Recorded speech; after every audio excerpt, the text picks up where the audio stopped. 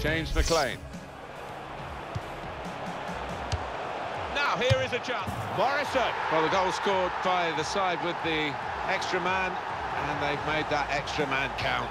Well, you've got to use the width of the pitch and make that extra man count, as you say, Martin. They did exactly that, and they were patient. They waited for the moment, and they got the reward.